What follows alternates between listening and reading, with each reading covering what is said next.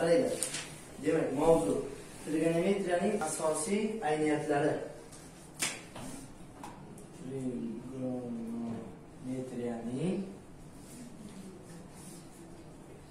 asosiy ayniyatlari asosiy ayniyatlari Xo'p, bu mavzu nimaga bog'liq? Men sizlarga o'tkazib bergan formulalarni eslang. Mana shu formulani keyinchalik mana qo'shimcha doskaga yozib qo'ysa yaxshi bo'lardi. Birinchi sinus kvadrat x plus cosinus kvadrat x nechiga teng dedik? 1. Bu birinchi formula. Ikkinchi formula. Bu yerdan sinus kvadrat x topsak nima bo'ladi? 1 minus cosinus kvadrat x to'g'rimi agar mana shu yerdan sinus x topsakchi sinus minus ilzosida 1 minus cosinus kvadrat x to'g'rimi sizlarda savol tug'ilishi mumkin plus minus biz nimani tanlaymiz? Minusimi plusimi savolga javob. Qaranglar agarda mana bu ko'rilayotgan x ertaga alfa bo'ladi boshqa mana shu burchak qaysi chorakka tushishiga qarab plyus yoki minus chiqadi-ku? O'shanga qarab ishlaymiz. Agarda birinchi chorakka tushsa nima bo'ladi? Plyus olamiz. Ikkinchi chorakka tushsa sinus u ham plyus edi. Uch bilan to'rtga tushsa minusini tanlaysiz tushunarli ya'ni chorakka bog'liq. Ho'p uchinchi. Kosinus kvadrat x topsak bu yerdan bir minus sinus kvadrat x. Agar kosinus x topadigan bo'lsak plus minus o'z bir minus sinus kvadrat x. Tushunarlimi? To'rtinchi. Mana buni ikki tarafi nesilada bo'lsa men e, ko'rsatdim. Masalan mana shu qaytadan yozib ko'rsatib bermoqchiman shu narsani mana bunday bo'lsa mana shuni. Qarang sinus kvadratga bo'lib yuboringlarda nima chiqadi sinus kvadratga bo'lib yuborsangiz sinus kvadrat sinus kvadratga bo'lib yuborsak bir plyus kosinus kvadrat sinus kvadratga bo'lsak kotangens kvadrat x barobar bir sinus kvadratga bo'lsak bir taqsim sinus kvadrat x. Bu bitta formula. Tushunarli? Beshinchi mana shu berilgan sinus kvadrat x plyus kosinus kvadrat x barobar birdir. Kosinus kvadrat x ga bo'lib yuborsakchi unda nima chiqadi? Qarang bu tangens kvadrat x chiqadi. Qanday qarang mana bunda sinus kvadrat x bo'lingan kosinus kvadrat x bo'lsa buni bunday yozsa bo'ladi sinus x bo'lingan kosinus x qilib to'g'rimi? Mana bunday kvadrat to'g'rimi? Bu nima bo'ladi? Tangens bo'ladimi tangensning kvadrati plus bu bir chiqadi bu bir taqsim nima? Kosinus kvadrat x. Endi kitoblarda qulay bo'lishi uchun bir plyus tangiz kvadrati yozilgan mana o'xshab tushunarli? Ho'p oltinchi. Tak bu yerdanchi endi yana formula topish mumkin. Uncha shart emas. Masalan mana shu yerdan kosinus kvadrat topgin desam nima qilasizlar esingizda bo'lsa bu bu yoqqa o'tadi bu bu yoqqa o'tadi almashardik-ku to'g'rimi? Bir taqsim bir plus tangens kvadrat x. Yoki mana bu yerdan masalan sinus kvadrat topgin desam bir taqsim bir plus kotangens kvadrat x. Tushunarlimi? Endi keyingi formula tak mana bu yerda yozaman oltinchi tangens x ni ko'paytirsak kotangens x ga nima chiqadi? Bir deb o'ylaydi. Chunki sinus taqsim kosinus kosinus taqsim sinus qisqarib ketadi. Yettinchi. Tangens x topadigan bo'lsak nima chiqadi? Bir taqsim kotangens x. Sakkizinchi. Kotangens x topsakchi. Bir taqsim tangens x. To'g'rimi? Yana nima qolib ketyapti bu yerda? Endi mana ular bor edi bularni tushuntirdim bo'ldi a asosiy trigonometrik ayniyalar shular. Lekin e'tibor bering. Siz mana buni bilsangiz mana buni bilsangiz qolgan narsa bundan keltirib chiqar ekan. Tushunarlimi? Qolgan narsa bundan keltirib chiqar ekan. Endi bunga doir misollar ko'rsak. Birinchi misolni aytinglar. Agar ikki kichkina alfa alfa alfa o'tkazib tushuntirdimku mavzuni birinchi mavzu alfa kichkina pi mana o'qish qaranglar alfa pi taqsim ikkidan pigacha oralig'ida tushunarli? Ho'p va sinus alfa teng uch taqsim besh bo'lsa tangens alfani toping. Uch taqsim besh bo'lsa tangens alfani toping. Qarang birinchi ish. Tangens alfa o'zi nima degani? Sinus taqsim kosinus deganimi? To'g'rimi? Buni hozir mana shu beryapman endi boshida beruvdimku уже tangnis alfa barobar nima edi? Sin salfa bo'lingan. Kosin alfa katangnis alfachi kosin alfa bo'lingan. Sin alfa edi. Esinglardami mana. Endi qarang bizda nima bor? Sinus bor. Bu misolni yechimini topish uchun bizga nima kerak? Kosinus. Demak ikkinchi ish kosinus topamiz. Kosinus topish uchun bizga nima berilgan? Sinus. Endi qarang kosinus bilan sinus bog'langan qanday formula bor kosinus bilan sinus bog'langan mana kosinus topish uchun mana plus minus ilzosida bir minus sinus kvadrat to'g'rimi demak bunday plus minus ilzosida bir minus sinus kvadrat alfa. Mana shu formadan foydalanamiz kosinus alfa barobar. Chorak mana ishorani hal qilaylik plus olaman minus olaman chorak nechinchi chorak mana qarang Birinchi mana mana pi taqsim ikki mana bu yerdami pichi. Mana bu yerdami qaysi chorakda ekan? Ikkinchi. Chorak. Ikkinchi chorakda kosinus minus edi. To'g'rimi? Demak biz bu yerda nima olamiz? Minus olamiz. Minus ilzosida bir minus sinus kvadrat e, sinus kvadrat deyapman sinus bormi bizda? Nechi? Uch taqsim beshning kvadrati tushunyapsizlarmi ho'p kosinus alfani topsak nima bo'ladi. Minus ilzosida bir minus to'qqiz taqsim yigirma besh. Agar o'n marta bersa yigirma beshdan to'qqiz ketsa o'n oltimi o'n oltidan to'rt chiqadi bundanchi besh chiqadi. Mana oldidagi qolib ketib qolyapti. Tushunarlimi? Bo'ldi. Kosinus alfa topildi mantiqga qo'ysa javob chiqadi. Bu uchinchi oxirgi ish sinus alfani o'rniga uch taqsim besh qo'yaman kosinus alfani o'rniga minus to'rt taqsim besh. Mana bu besh bilan bu besh qisqaradi chunki bu bu yoqqa tushsa bu tepaga chiqib ketadi. Esinglardami minus uch taqsim to'rt yoki minus nol yetmish besh bo'ladi. Tushundinglarmi давай сразу keyingi misol Oltinchi. oltinchi natija ko'p bilan yozyapman давай Pi taqsim ikkidan pi. alfa pi taqsim ikkidan pigacha to'g'rimi? Tangiz alfa teng Mhm. minus uch taqsim to'rt bo'lsa. mantiq yozdim tangi alfa teng minus uch taqsim to'rt bo'lsa. Sinus alfa minus kosinus alfaning qiymatini toping. sinus alfa minus kosinus alfani qiymatini toping. Qarang. Tangens alfa berilgan. Buni bumi bu bilan bog'laydigan qanday formula bilasiz? Mana bu yerda bor sinus bilan ili kosinus bilan bog'langan Besh. qarang beshinchi formula bir plyus tangens kvadrat nima edi bu bir taqsim kosinus kvadrat shundan foydalanamiz qarang. Demak birinchi ish. Bir plyus tangens kvadrat mayli mana bu yozib qo'ydim formula qaysi formuladan foydalanayotganimni ketdi. Bir plyus minus uch taqsim to'rtning kvadrati bu bir taqsim kosinus kvadrat alfa. Hozir menda yo'l bor edi сразу man qo'ysam kosinus kvadrat alfa barobar bir taqsim desam oson bo'ladi. Man uch taqsim to'rt qo'yib sonini chiqardim. Endi mayli. Buni ham yodlamaylik degan ma'noda buni nima hisoblaymiz to'qqiz taqsim o'n olti. To'g'rimi? Mahraj berib hisoblasanglar yigirma besh taqsim o'n olti bo'ladi. Bir taqsim kosinus kvadrat alfa. Shundaymi? Bu yerdan kosinus kvadrat alfani topamiz desak. Tursa teskari ag'daraylik o'n olti taqsim yigirma besh. Kosinus alfani topamiz desak plus minus ilzosida bundan ne chiqadi? O'n oltidan. To'rt. to'rt taqsim demak besh. Bizda muammo plus olamizmi yoki minus? Chorak aytadi. Nechinchi chorak mana bu? Aytayotgan nechinchi chorak? Minus. pi taqsim ikkidan pigacha ikkinchi chorak.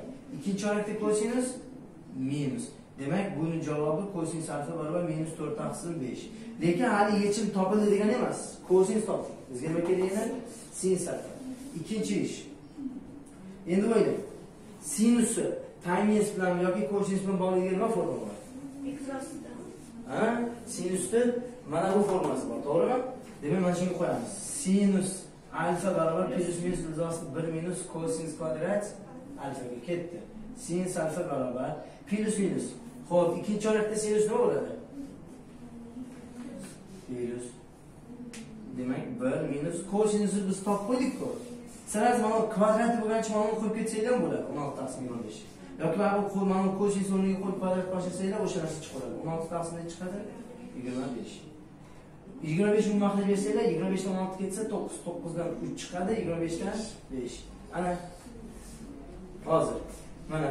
Oxirgi 3-ishimiz sin alfani topdik kosinus alfani topdik o'shani ayirib qo'yamiz. Sin alfa minus kosinus alfa sin alfa 3 taqsim 5 minus kosinus alfa bizda minus 4 taqsim 5 bo'ldi. Sizlarda buni hisoblash qoldi xolos. Tushunarlimi? Ho'p qaranglar. Mana shu o'girib qo'ysa-chi nechinchisi endi? yetti. Yettinchisi.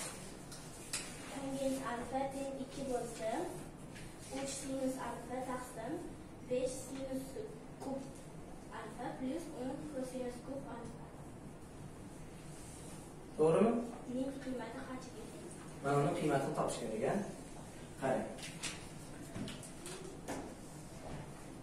Hozir sizlarga bitta usul o'rgataman. Ayni mana shu turdagi misollar kelsa shu. Men aytgan usulni ishlasanglar osonroq chiqadi. Qaranglar hozir o'zi umumiy bitta usul bor qanaqa boyagidek tangis alfa borku bizda tangis bilan bog'langan boyagi bor edi kosinus alfa to'g'rimi kosinus topib ol kosinus topib keyin mana bu sinus topib ol to'g'rimi keyin bu yerda yana bitta problema bor chorakini aniqla deyishing chorakda bu mana bu problemalar borda bizda shuning uchun buni ishlashni boshqacha strukturasi bor taktikasi bor qanaqa tangensga mana shu kasrni keltiramiz. Uning uchun mana uni eslang. Agar a taqsim b berilgan bo'lsa ani ham ga bni ham ga bo'lsa bo'ladi to'g'rimi yoki ko'paytirsak ham bo'lardi. Faqat bir xil narsaga yo ko'paytirishga yo bo'lishga edi surat mahrajini to'g'rimi shu narsadan foydalanamiz. Mana shu narsani tangensga keltirish uchun mahraji kosinus bo'ladi tangensi to'g'rimi kosinusga demak bo'lishi kerak. Faqat aniqlash kerak kosinusi qaysi darajasiga? Chunki bu yerda kubda ham bor. Kosinus alfaga bo'laylikmi? Kosinus kvadrat alfaga bo'laylikmi? Kosinus kub alfagami qaysi bir ma'qulroq? Masalan qarang. Kosinus alfaga bo'lsak bizda problemalar paydo bo'lar ekan. Mana bu tangizga keladi kosinus alfaga bo'lsak. Mana bu sinus taqsim kosinus bittasini ajratib olsak bitta sinus kvadrat qolib ketib qoladi. Mana bu kosinus alfaga bo'lsak kosinus kvadrat qolib ketib qoladi. Ya'ni sразу tangizga kelolmaymiz to'g'rimi? O'shaning uchun kosinus kub alfaga bo'laman. Surati mahrajini qarang. Maydalab ko'rsatyapman mana. Sinus alfa bo'lingan kosinus kub alfa mana bu yerda besh sinus kub alfa bo'lingan nima? Kosinus kub alfa plyus o'n kosinus kub alfa bo'lingan kosinus kub alfa shu tushunyapsizlar a qarangda mana. Mana bu- mana uni eslang mana shuni s ga bo'lgin desam mana s ga bo'lgin desam bunday bo'lsa bo'ladiyu a bo'lingan s b bo'lingan nima? S deb. Xuddi mana shunday kosinus kubga bo'ldim alohida alohida buni ham buni ham bo'ldim tushunarli? Endi qarang. Uch mana bu tangizga kelish uchun bunday yozaman. Sinus alfa bo'lingan qarang kosinus alfani ajratib olamanda yana qolib ketadi bir taqsim kosinus kvadrat alfa. Tushundinglarmi? Endi besh sinus taqsim kosinus nima bo'ladi? Tangens kub alfa. Plyus o'n. Bu bir. Bir bo'lsa o'n kar bir o'n. To'g'rimi endi qarang uch. Sinus alfa taqsim kosinus alfa tangens alfa ko'paytirilgan mana bu bizda problema bo'lib ketib qoldi. Ya'ni tangens kelmay qoldi. To'g'rimi? Boyagi formuladan foydalanamiz bu nima edi? Bir plyus tangens kvadrat alfa to'g'rimi? Mana. 5 tangens kub alfa plyus nechi mana shuni tushundinglarmi mana. Sinusni kosinusga bo'ladi sinusni kosinusga bo'ladi nima bo'ldi? Tangens alfa bo'ldi. Bir taqsim kosinus kvadrat bu bir plyus tangens kvadrat bo'ldi. Hammasini tangensga keltirdimmi? Shunday qo'yaman tangens o'rniga demak. Uch ikki bir birda besh ikkini kubi plyus nima. Tushundinglarmi tushunmagan joyinglar bormi Ha, bo'ldi kuldirmaydi hop bo'pti hisoblab qo'yasizlar buni necha chiqishini keyingi misol o'ninchi misol давай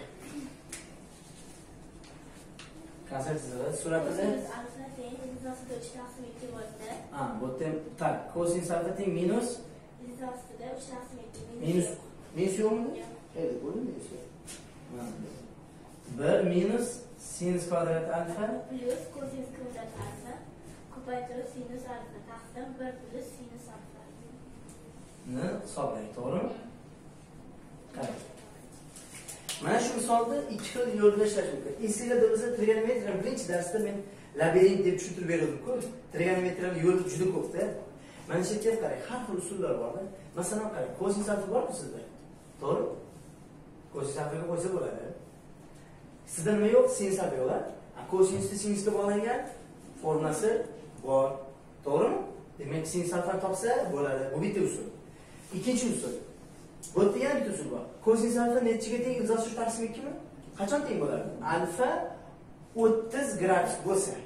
Demak alfa o'ttiz gradus qo'yib chiqamiz hammasiga? Bo'ldi buni ham topsak bo'ladi. Men sizlarga boshqacha usulni tavsiya qilaman hozir. Avval soddalashtiringlar keyin qo'yinglar. Soddalashtirsanglar balki misol oson holatga kelib qolishi mumkin. Qarang qanday soddalashtiraman mana buni boyagi formula bo'yicha kosinus kvadrat alfa deyman. Chunki kosinus kvadrat alfa shunga teng plyus kosinus kvadrat alfa sinus alfa turibdi. Bir plyus sinus alfa mana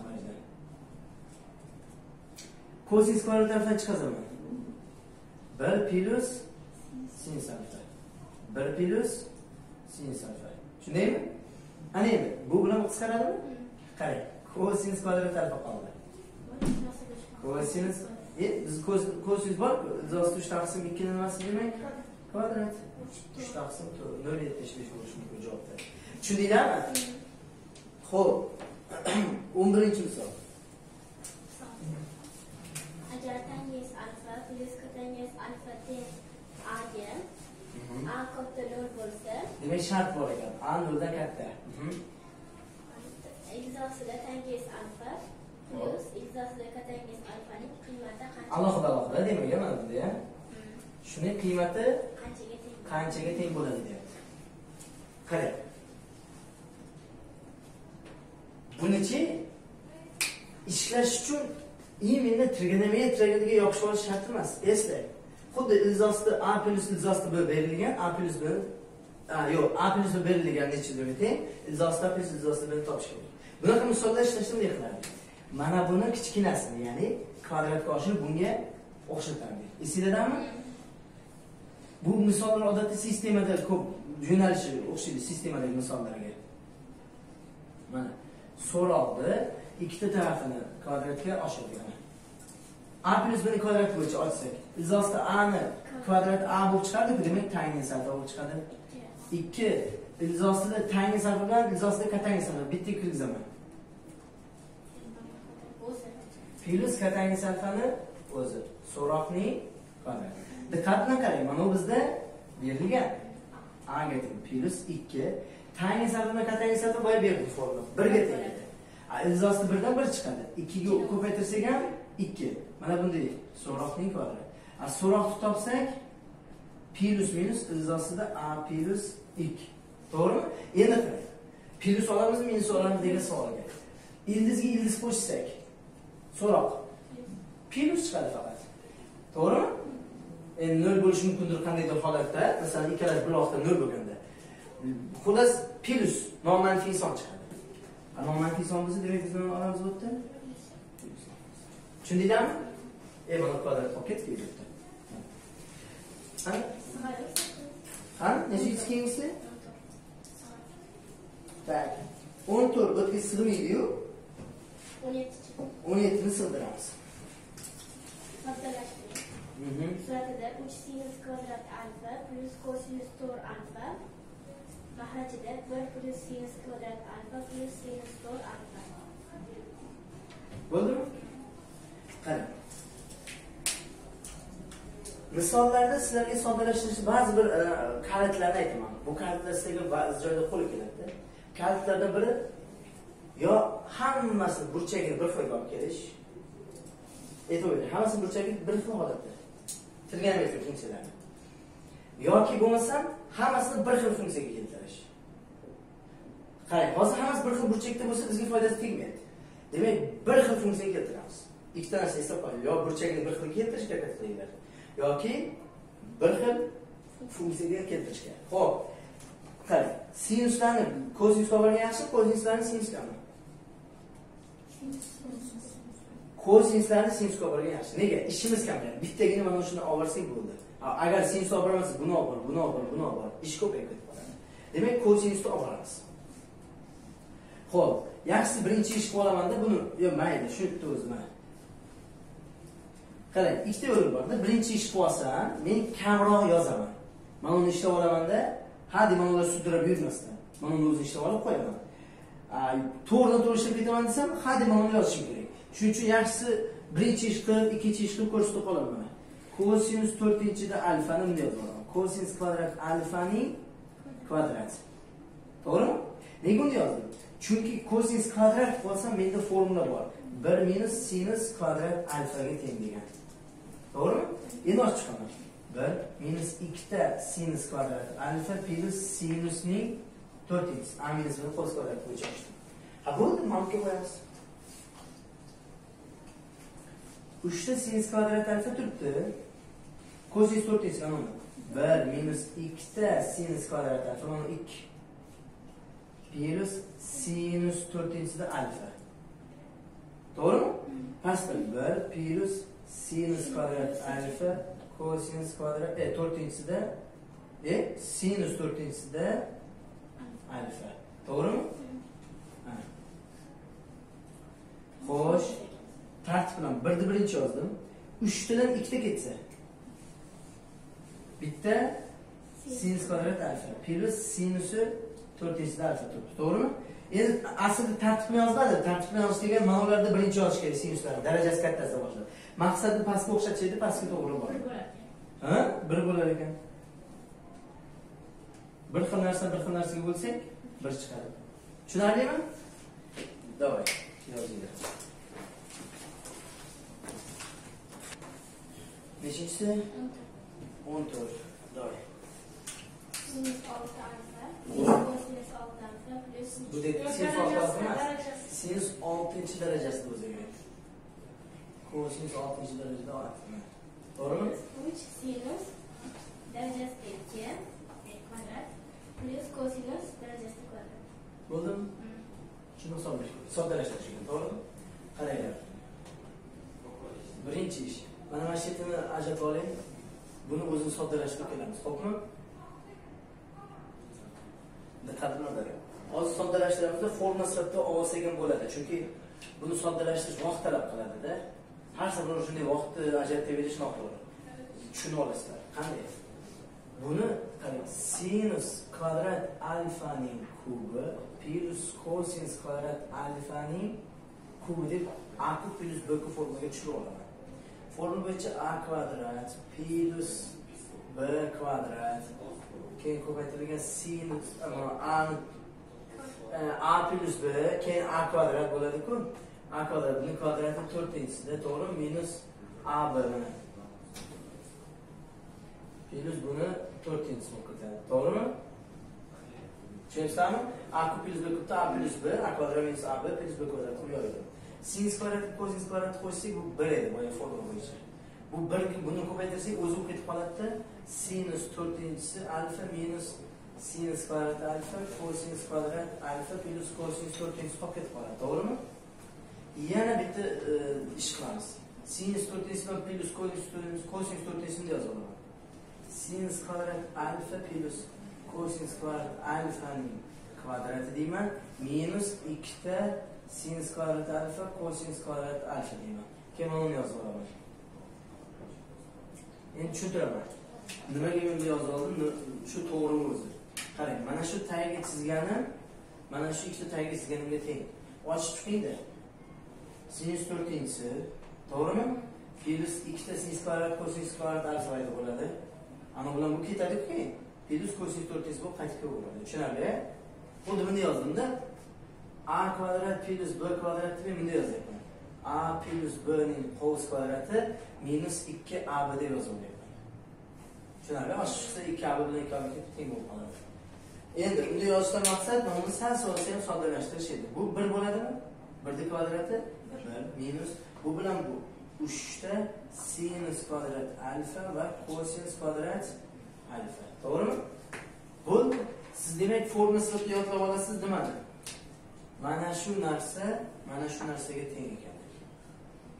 Xolisini mayli alohida ham aytib beraman sinus oltinchi darajada alfa plyus kosinus alfani oltinchi darajasi teng bo'lar ekan bir minus uch sinus kvadrat. Alfa kosinus kvadrat alfa mana shuni formula sifatida olsanglar bo'ladi. Majburlamayman buni formula sifatida yodlab oling deb.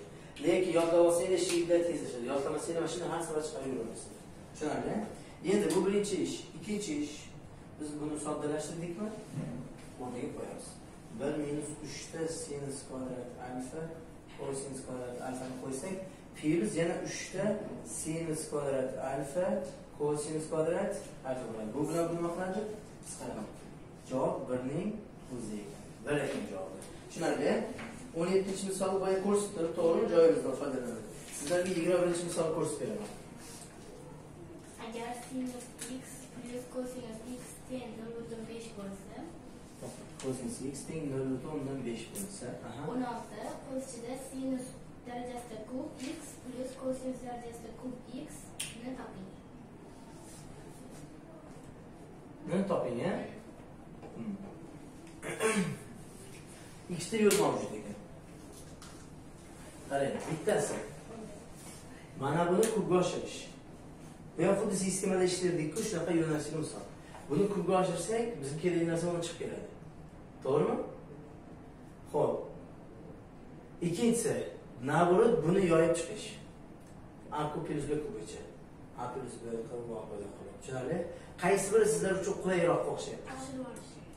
Oshirish. Mayli shundan foydalanamiz birinchi demak sinus x plyus kosinus x barobar nol besh nol besh bu bir taqsim ikki degani kubga oshiramiz. Unda sinus kub x plyus uchta sinus kvadrat x kosinus x plyus 3'te sinus x kosinus kvadrat x plyus kosinus kub x barobar doğru bir taqsim sakkiz. To'g'rimi? Tushundinglarmi qarang. Bizga kerakli narsa mana. Mana shu birinchi yozib olaman. Sinus kub x plyus kosinus kub x kerak. To'g'rimi? Hamma beryapti mana bular. shunday shular bo'lmasa e, ho'p buni qanday topamiz desa birinchi mana sal soddalashtiraylikchi qo'lsa tashqariga uch sinus x kosinus x chiqarib yuborsak Xo'p, nima qoladi qo'shida? 3 chiqib ketdi. Sinus x bitta chiqib ketdi, bitta sinus x qoladi. Kosinus x chiqib ketdi, plyus bundan 3 sinus chiqib ketdi, kosinusdan bitta chiqib ketsa, bitta qoladi. Bir taqsim 8. Tushunyapsizlarmi? Sinus kub x plyus kosinus kub x plyus 3 ta sinus x cosinus x mana bu bizda boshida berilgan-ku 0.5. To'g'rimi? Davomida bir taqsim 2 da 0.5 deb yozmayapman, bir taqsim 2 deb yozyapman. Hmm. Yana bitta muammo bor. Mana buni qanday topamiz? Ikkinchi ish qilamiz. Buni berilgan narsani kvadratga oshiramiz. Demak, ikkita ish bo'lgan ekan-da bu yerda. Mana 1 taqsim 2. Kvadratga oshiramiz. O'shanda kvadratga oshirsak, sinus kvadrat x plyus 2 ta sinus x kosinus x plyus kosinus kvadrat x. Nima chiqadi endi? 1 taqsim 4 to'g'rimi? Qarang sinus kvadratga kosinus kvadrat qo'shsak. 1 plyus 2 ta sinus x kosinus x. Barobar 1 taqsim 4 bizga kerakli narsa mana bu birni bu yoqqa o'tkazaman minus o'tadimi? 2 ta sinus x kosinus x barobar minus o'tsa minus 3 taqsim 4 bo'lib qoladi. Bir taqsim to'rtdan bilan ayirsak endi ikkiga bo'lib olaman. Sinus x kosinus x minus uch taqsim nechi? Sakkiz. Ha? Bu ham topildimi? Demak endi oxirgi uchinchi ish. Demak mana buni yozaman. Bu kerak narsa shuni topish kerak edi chunki plyus uch. Buni o'rniga chiqamiz, minus uch taqsim sakkiz. Buni o'rnigachi bir taqsim ikki barobar bir taqsim sakkiz chiqishi kerak. Tushunarlimi? Mana buni qoldiramizda qolgan hammasini qo'yib chizamiz sinus kub x plus kosinus kub x barobar ana bir taqsim sakkiz turganda bu yoqda qarang mana minusliku to'g'rimi? Bu yoqqa o'tsa nima o'tadi bular plyus o'tadi? Solib qo'yib uch kira uch to'qqiz. Taqsim sakkiz kira ikki o'n olti. Ana bu yog'i arifmetik amallar uni mahraj o'n olti bo'ladimi? Bunga ikkita tegadi bu bitta. O'n bir taqsim o'n olti ekan. So'ragan narsasi o'n bir taqsim o'n olti ekan. Tushunarlimi? Tushundinglarmi bu sizlar aytgandek men birinchi berilgan narsani kubga oshirib ishladim. Xohlasanglar uyda sizlar. Mana buni yoyib chiqib ishlashingiz ham mumkin balkim osonroq chiqadi bunga nisbatan tushunarli? Chunki bu oldin aytgandek trigonometrik usul ko'p. Qaysi biri osonroq qaysi biri qiyinroq chiqaveradi. Tushunarli? Yozinglar. To'g'risida. Mana qaranglar. Ho'p bizda mana bu yerda endi oxiriga yetkazib qo'yaylik dedik. O'n olti bu nima chiqdi? O'n bir taqsim o'n olti. Nima bo'ladi endi? O'n oltidan qisqarib o'n bir javob chiqadi oxiriga yetkazib qo'ya qoladi endi 그렇죠.